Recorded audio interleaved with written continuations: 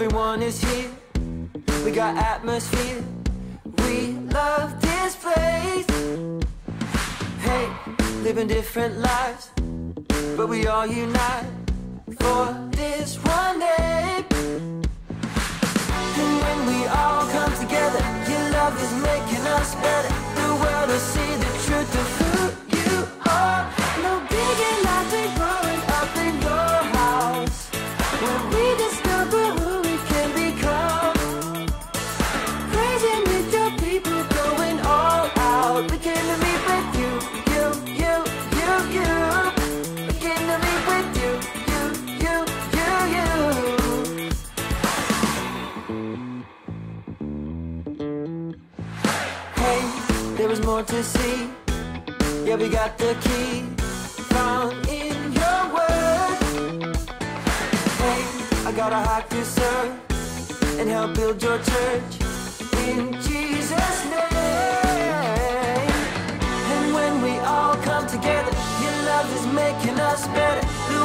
See the truth of who you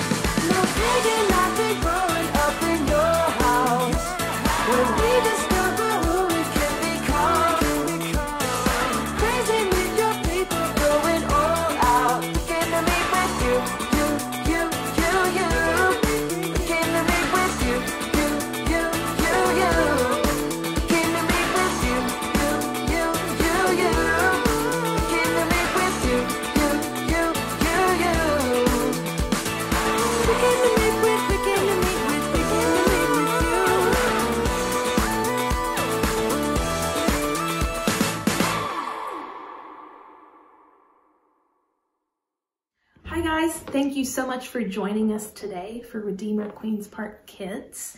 My name is Renee and I'm a team member here at Redeemer Queens Park. Now, have you ever been super thirsty? And I mean really, really, really thirsty? One time I went on a trip to a state called Texas, and that's in the United States, and it's really hot there, really dry and really hot. I'd been outside in the sun all day and all I could think about was a big glass of cold water. It's all I could think about. And when I finally got that glass of water, oh, it was the best glass of water that I'd ever had.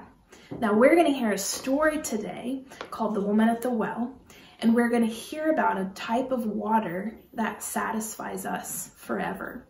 Can you think about what type of water that might be? I don't know. Listen closely to the story coming up to find out.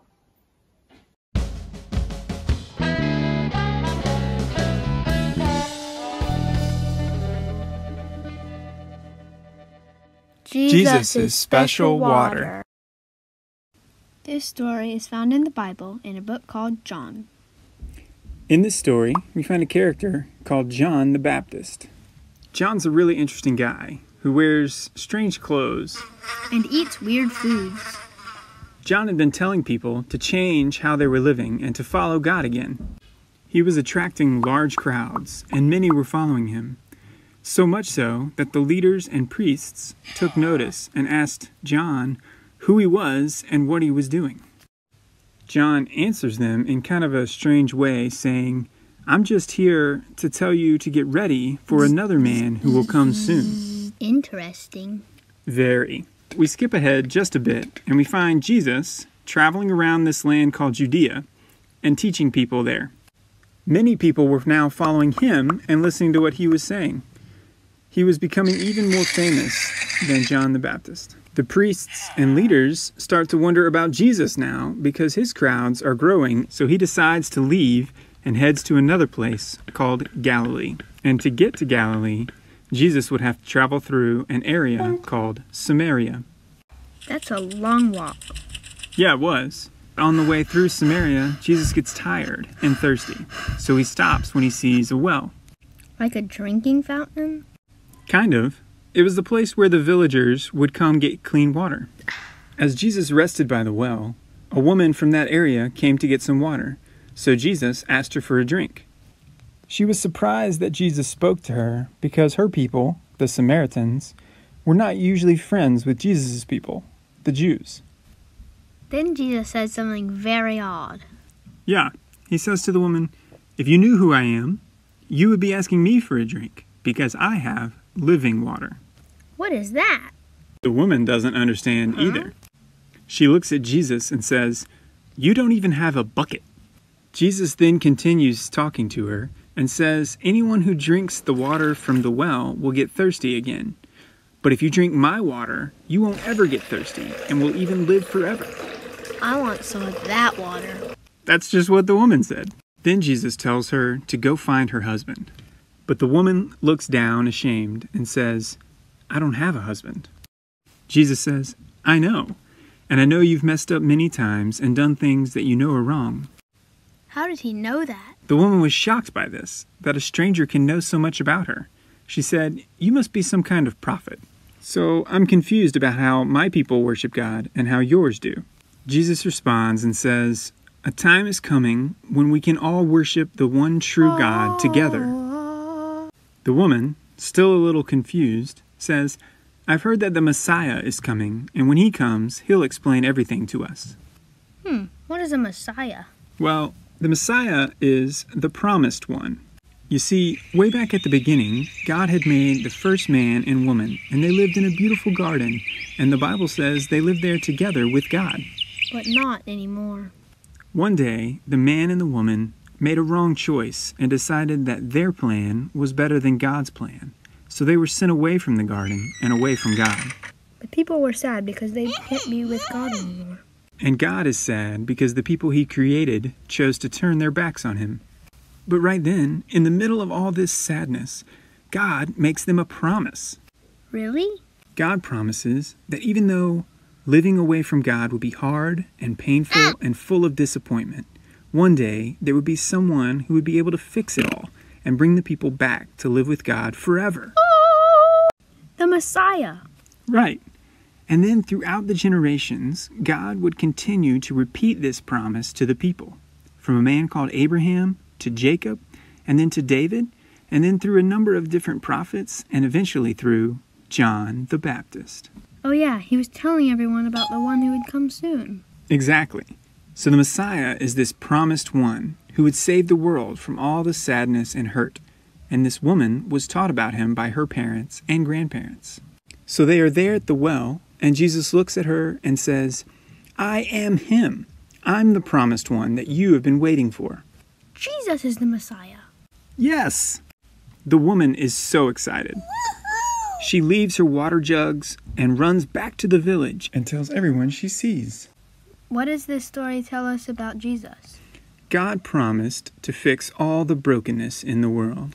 Jesus is the promised one who comes, and he came for everyone, even those who are from a different family or land or culture, and even those who have done wrong things. Just like the woman in the story. Right, and just like all of us. God loves us so much that even though we are broken and the ones who caused all this pain, He promised to fix it and send us a Savior. And then He did, and He was Jesus. The living water was not actual water. It was his way of saying that we could live with him forever. That's some pretty special water.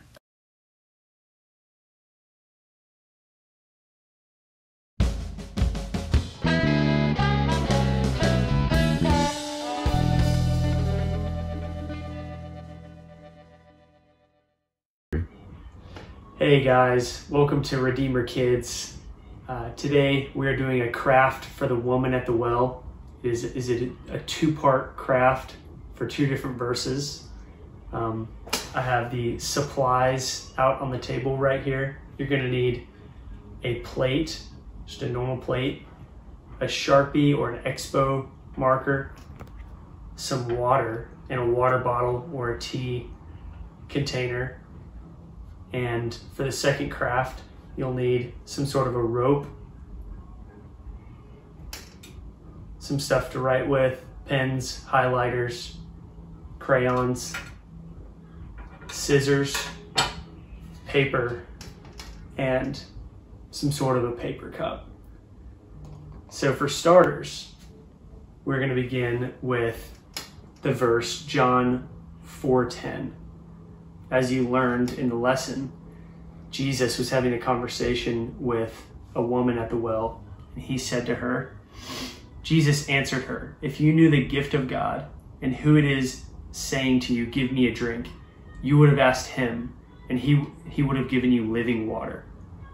So, for the first craft, I am going to be making living water. So we're going to take the expo marker. We're going to draw a picture of the woman at the well, just the woman.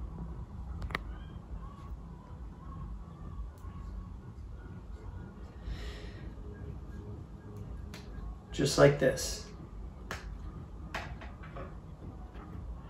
Okay. So if you notice from the passage, Jesus said, if you knew who was talking to you, you'd be asking him for living water.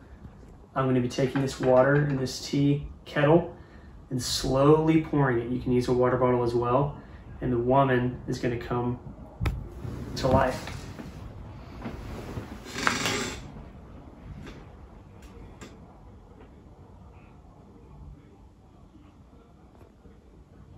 Oh, got her hair fell apart a little bit.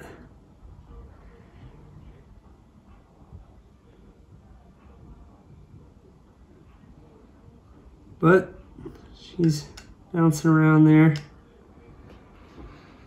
Let's get that leg off. Oh, all right. So her head is a little bit busted, but she got her living water. She, she came to life. Kind of blow around a little bit. So guys, I hope you enjoyed that craft right there. For the next one, we're going to be focusing on John 4.14. We're going to be making a well with a little cup to draw water with, a string, highlighter, and a pen to draw and, and for color, and some scissors to create holes in the paper. So before we start, I'm going to read the verse, John 4.14 says, But whoever drinks of the water that I will give him will never be thirsty again. The water that I will give him will become in him a spring of water welling up to eternal life. Wow, isn't that encouraging? Welling up into eternal life. I want that water. I want that gift. So let's go ahead and draw it. So we're jumping in here. First, we're going to start with our well. Draw a well at the bottom of the page. Okay, draw up top, maybe some bricks.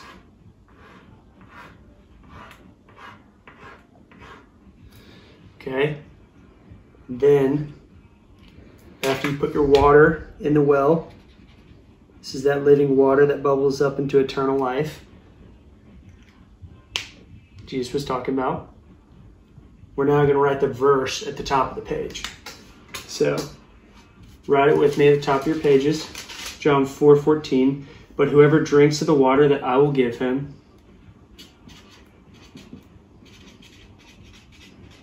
whoever drinks of the water that I will give him,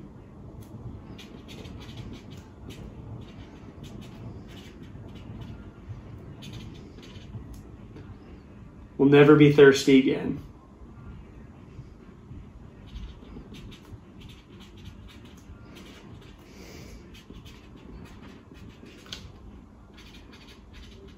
And you're just going to put a dot, dot, dot. We're going to finish the verse out right there. And that is John 4 14. Now it's time for the well, for the cup.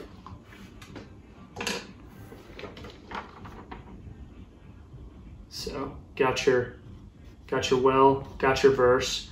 Now we're going to include what the woman is drawing water with and the rope. Okay, so the rope is going to run from the bottom of the page to the top. We're just going to attach that cup there. So let's start with making sure the rope and the cup are in sync. So you're going to make a little hole in the cup. It can be a plastic cup like this or another kind. Just be patient with it. Maybe let your parents do this part.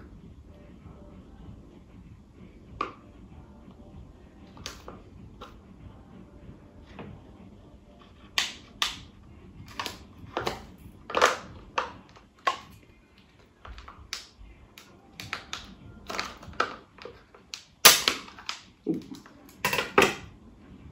little bit too much right there. Still could work.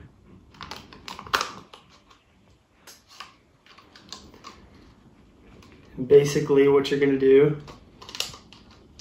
is run this up and down the page. So create a hole in the top of your paper.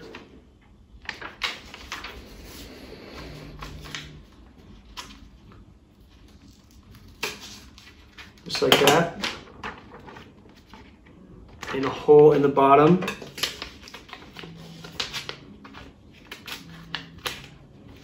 Okay, just like that.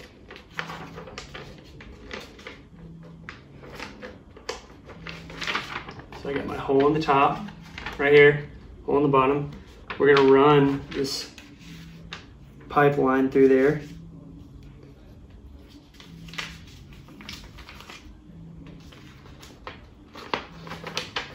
So we got the well, we got the, the rope. Now all we need is our cup. So I cracked my cup. Ideally you want to have a hole in it, but I'm gonna attach it. That way you can run up and down the rope to get water.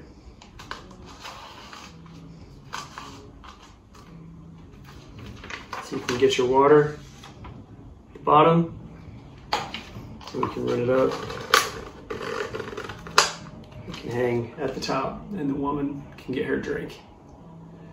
So guys, the end of this craft, we have our well, we have our container to draw water from, and we have our woman. Um, I hope this was encouraging for you, and feel free to try it at home with the supplies I had here. Y'all have a great day.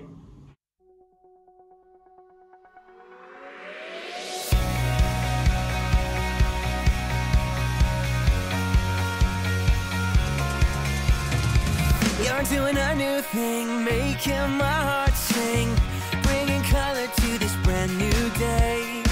It's never been clearer, you draw me nearer. You're always